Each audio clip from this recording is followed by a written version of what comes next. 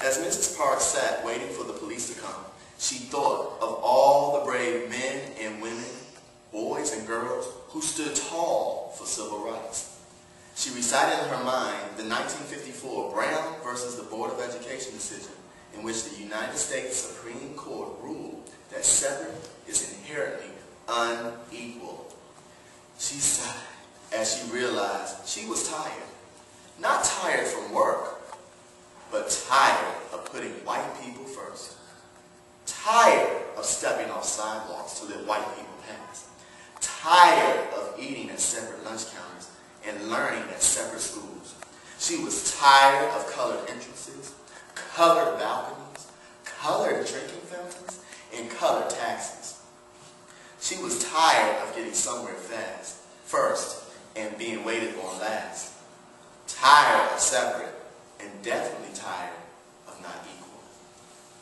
We learned that Mrs. Parks was uh, someone who took some action beforehand, not just this one day on this bus. The reason we chose this book, Rosa, by Nikki Giovanni, or the reason I chose this book for my class, is because this book um, definitely demonstrates and breaks the stereotypes of Rosa Parks. Even as I was growing up, I always learned that Rosa, in my mind, was a little old lady, and she was sitting on the bus, and she was tired from working, and she was she was just tired, and that's why she didn't get up, and it just seemed like it was um, just some calls out of the blue.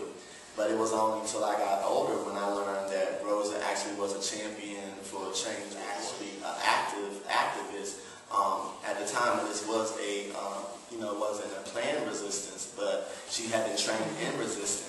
And I think that this book by Nikki Giovanni, who's also a pioneer as well herself, um, helps children to understand who Rosa really was, that she was a young seamstress, she wasn't really in the tire piece that we read um, today really demonstrates and breaks that myth that Rosa was um, tired from working and that's why she didn't get up.